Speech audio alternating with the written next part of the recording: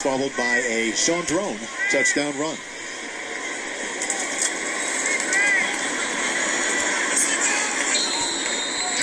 Third and